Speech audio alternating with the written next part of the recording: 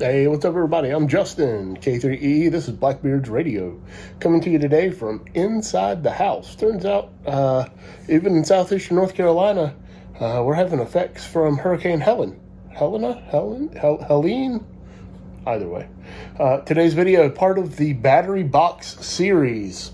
Uh, we are going to be building the battery box.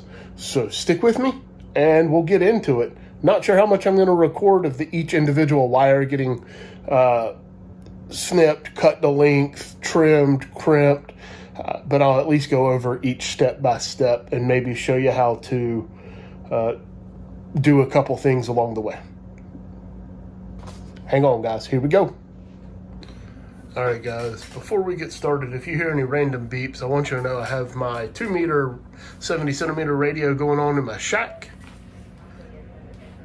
and uh, I'm doing that because of weather alerts. We just got another tornado warning.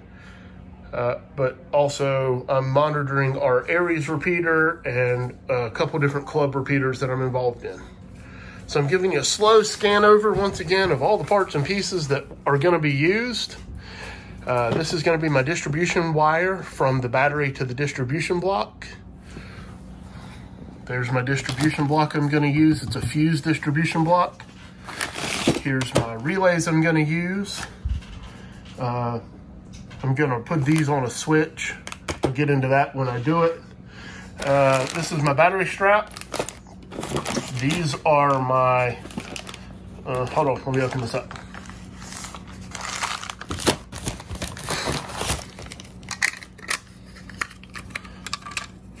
My 50 amp charger port uh, that I'll put on the box. That way I can leave the charging terminals plugged into the battery so I never have to open the battery case, hopefully. Uh, power pole kit just in case, power pole crimps. Uh, I'm using a, what I call a pine cone bit. It's a stepper bit. Uh, wire strippers, I have a different set of crimps, uh, ratcheting crimps, wire strippers, torch for heat shrink. I have my heat gun shroud that I bent into a half circle-ish for mm, shrinkable insulated wire terminals. I have my Powerwerx two pole through panel plugs. I have two of those. I also have PD chargers. Uh, PD meaning it's a power distribution charger. Uh, look back, I'll link the video in one of the corners uh, where I went over all of this specifically. There's my on-off switch that I'll be using and the Cycling Bat 100 amp hour mini, 12.8 volts. This thing is uh, four and a half inches deep, eight inches wide, nine inches tall. And then I'm putting it all in a Apache 4800 case. These are the Pelican, not Pelican cases you get from Harbor Freight. Uh, yeah, I'm gonna use my flag terminals everywhere I can to keep my wiring neat and tidy. Uh, attempt to keep my wiring neat and tidy.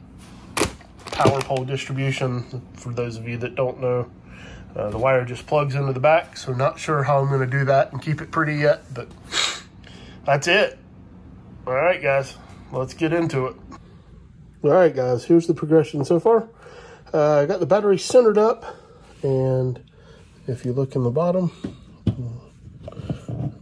down here, you can see a couple dots. That's going to be for my battery straps. Uh, here's one right here. Uh, and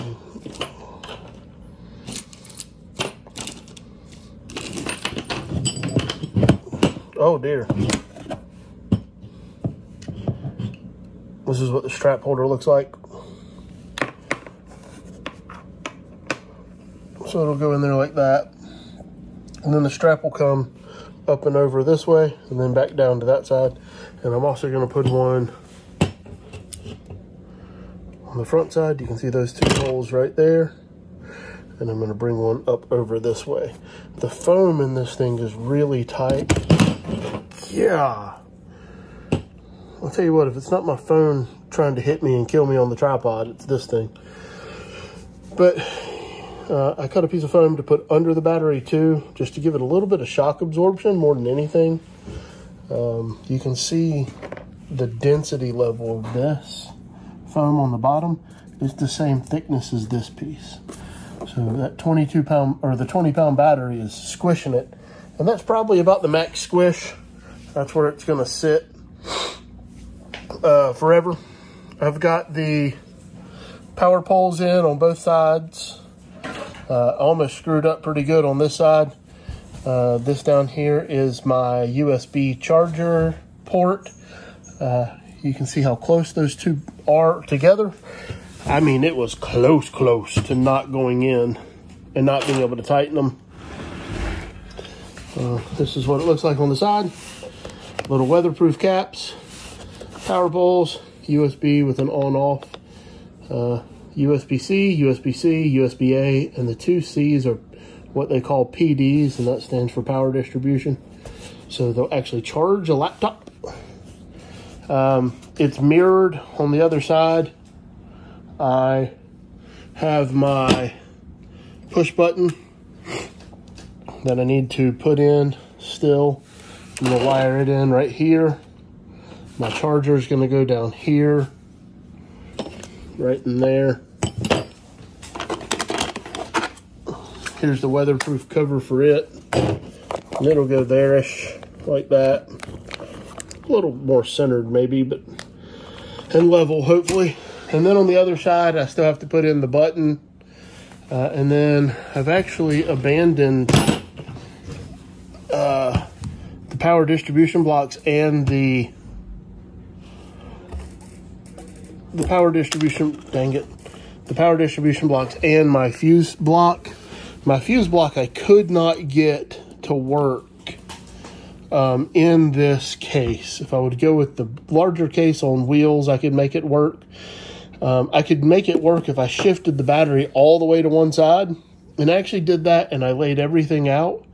But when I did that, I had, for once, a little bit of forethought.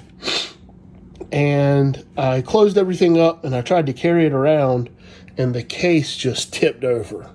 I mean, 20 pounds in the bottom bottom corner on one side. It was just heavy. Uh, it, I mean, it fatigued my wrist just trying to carry it around uh, this little room I'm in.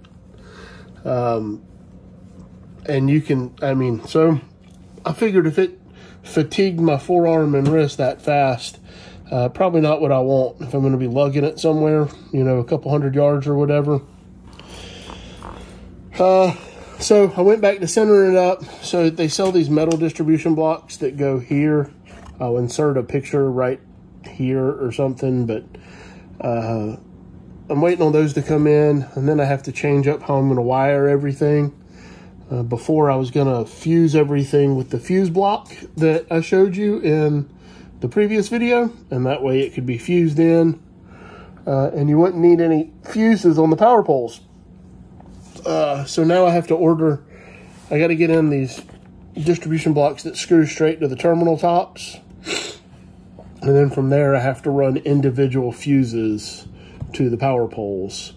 Um, kind of like your radios come with, but that's what I'm going to run. And then, so I'm waiting on those to come in. And I'm waiting on one more on off switch to come in and then I'm waiting on another uh, another relay. Um, initially, because I had everything wired on the fuse block, um, I was running two relays, one to each side, but it was going to be on one push switch. I was going to wire them together, and that way one off switch would power both sides. Well, now with changing all that, it's gonna it would be extremely cumbersome to do that. So now I'm gonna run one relay that is a 100 amp relay. I'm gonna mount it here. Well, it probably here uh, to get it away from the battery charger. So I'll run my power down to here and then my one push button or maybe I don't know yet. I still might put these on the switch. Um, but either way, I'm waiting on that relay to come in. So unfortunately, I'm kind of at a standstill, and I have to pack all this crap away. I'm going to go ahead and cut my cables roughly to length with my twin lead. Uh, going to go ahead and get my power poles made up. That way I can poke them in whenever I'm ready. Uh, this is the wire it comes with for the 12 volt uh, for the USB plugs. Um, so there's not a lot I can do. Uh, I'm going to make these up and put them in flag terminals and point the flags going up and that way, you know, I don't, otherwise the wire would poke out to here. And if I point them up, the wire will just go to here and I can route it neatly on the top lid on the inside. Because ultimately, you know, the negative on this side is here and the positive is here. So I'm going to have to stretch wire around. Uh, but I'll be able to keep it a little neater that way. And then the only other thing I'm going to be able to do today is my charger port. That way I can just plug my charger into it and I don't have to open the case ever, I hope. Uh, so I'm going to drill that hole, get that starter hole, get it outlined, and then uh, break out my multi-tool, Dremel, or jigsaw. I don't know which one I'm going to use, whichever one I come to first in my toolbox. Uh, kind of get that set in place, and then I'll start routing wire without connecting anything to try and get my wire length so I don't lose the day.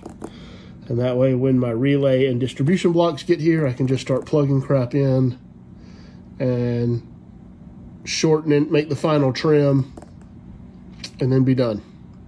So, sorry, don't have a whole lot to report. So, progress update. Got my strap holder bar thingies. Uh, heat shrunk, a little less metal around. Makes me, you know, it's a lot of energy. 100 amp hours is a lot to go wrong. Uh, here are my new uh, distribution blocks. Uh, they're made by V-Gate. Uh, you can see here's the positive. I'm putting over there, and I'm going to direct mount the negative on the battery right there. Uh, this is for my positive. I was actually going to do my 100 amp relay I have coming. I'm going to do my 100 amp relay. So once I get my 100 amp pole relay thing's what it's called, a relay, what I'm going to do is actually bolt the relay directly to this because a 100 amp has uh, threaded studs instead of uh, typical pins. Uh, instead of having four of those pins, it's got threaded studs. So I'm going to bolt, uh, it's going to be a direct bolt to here. And I'm going to run the battery to that. And in the meantime, I'm just going to run a wire from my battery. This little wire, actually, from my battery positive to that. I need to wrap it in red tape first. That way I know it's positive because they only had black at the stove. Uh, but then everything off this distribution block will be on a switch. Uh, I hadn't put the switch in yet because I don't have the relay. And it doesn't do any good to put a switch in here that doesn't do anything. Uh, but the switch is going to go probably right here. Uh, and that'll switch everything on at once. So it'll switch on both of the, all four power poles, these two and the two uh, on the other side, and all three USBs on both sides. Uh, the other thing that you missed was I put in my Anderson 50 amp charger. So these will get screwed directly to my battery onto the terminals. And here's what the weather cover looks like. That's what the Anderson 50 amp power pole looks like. Uh, remember, positive is on the left side with the shell up uh, every time straight from the factory. You can even see positive on the plug if right there. Every time, that's how it goes. That should be how all of your power poles are wired. That way everything's universal. So that's where I'm at. I'm about to finish. I'm about to start cutting wires for these, for my USB outlets. Uh, I'm going to get them stretched to here and then to here for the ground. Uh, and then I'm going to do the same thing for my power poles on both sides. And the last thing I'm doing is dropping the battery in because once I drop the battery in, uh, everything's kind of got something that's energized near it. And I'm trying to eliminate as much potential problems as I can. Uh, what I'm doing for my power poles though, I've changed up and I'm actually going to run inline fuses instead of just instead of that six gang fuse box it just did not fit no matter how I tried to make it fit uh, except for like I told you pushing it all the way to one corner. Um, and then it just made the case awkward to carry. So what I'm doing is a bunch is four of these. So these will get like two of these will get direct wired to the distribution block there to the power pole. So I'll stick them in. Uh, See, already got the power pole end on it. So I'll stick those in there. And then direct wire those there. I still need to cover them. Uh, I mean, put an eyelet on it. Yeah, so I'm getting there, guys. Uh, yeah, I'll come back to you once I make the next groundbreaking move, but you know, it won't be a whole lot different. Again, I'm Justin, K3EE, let up. All right, guys, here we go. All buttoned up. Uh, I made some progress. Sorry, I told you I wasn't going to film all of this because it would have been a nightmare. Uh, here's my ports. Power poles. This is my USBs. Uh, if you notice it on the USB-Cs, it says U uh, PD. That's power distribution, so you can charge laptops and whatnot from there. And then USB-A is still 3.0, so it's more power than normal. You got to turn it on so it doesn't have a parasitic draw.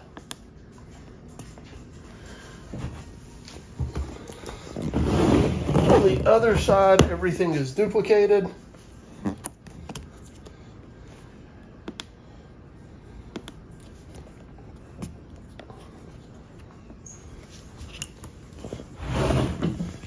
in the middle where you normally have your vent relief is where I put my power button. Uh, it's kind of out of the way. All my through holes for my straps, I used uh, flatheads and uh, finish washers. And my goal was to try and keep all my screwage under the rim and that way it wouldn't scratch tables. I'm going to open up the case now and take you through it. Just like before, uh, the battery's in here, except now my power distribution blocks are on. I'm running distribution blocks for all of this, um, all my plug wires, and then same thing over here and the only wire that you see coming into the post of the battery actually go to the charger input. Uh, this one wire right here is for my relay. Uh, it's not a bare wire, it's actually cut flush. And then I put shrink wrap over top of it. And then I shrink wrapped over top of that shrink wrap. And I cut it long. That way, uh, this actually goes to my push button. So my push button right now is kind of a dummy. It just lights up. It doesn't do anything else besides light up. But once I have my relay in that's supposed to show up whenever, uh, I don't know when, uh, I'm pulling this battery terminal, this post off, and the relay, uh, it mounts hard, it hard mounts with posts uh, because it's 100 amp. So it'll actually screw into the battery terminal itself and then uh, this will screw in directly to the other end of the relay. And if not, then I'm going to run a little tiny piece of wire or even a shunt, a 100 amp shunt to here, and I'll just locate the relay here uh, and then pull this over. So I'll have one wire going from the terminal to the relay and then from the relay to the distribution block. Uh, but all of that will still be mounted right in here. Uh, and if you see, I have all of this space available that I can put stuff on the side for future expansion. Because with 100 amp hours, again, my plan with this setup was to be self-sufficient for 24 hours. I can drop one battery case, one radio, one laptop, and I can do anything I need to do. WinLink, HF radio plan for field day, winter field day, whatever the case may be, I can just handle it all myself. And I don't need power. Uh, that's the goal. That's the design of the build. Um, this is not an everyday battery case. This isn't what I'll use for my normal POTA activations. I will still use my 18 amp hour battery for those. Uh, this has a very specific purpose. Uh, my buddy has one he built also, and uh, he lost power during Hurricane Helena or Helen or whatever. I, I don't know. But uh, his family actually used their power box to uh, charge all their laptops and their cell phones and tablets. And then he ended up running the internet off of it. So it worked out great for him. Uh, but that's it, guys. That's all I got. Again, I'm Justin, K3EE. Uh, please like and subscribe. Uh, if you want any more specifics on items used, I'll try and post and link everything in the description of the video again. Uh, I'm sorry I didn't take you along for the whole ride, but there was a lot of it. You saw how tight all that wiring was. Uh, you wouldn't have been able to see a whole lot. Um, so that's it. It's power poles and the power, the positive wire for the USBs going to the positive distribution block. And then to the negative distribution block is the negative power poles and the negative side of the USBs. And then I wired in the switch the way that the instructions told me to. And then I hooked it up to the battery. That's it. Uh, pretty cut and dry, honestly. Uh, so yeah, again, I'm Justin, K3EE, Blackbeards Radio. Uh, please like and subscribe. Don't forget, at a thousand subscri subscribers, I'm going to do an antenna giveaway, a G5 RV. I'll talk to y'all later. Thanks, guys.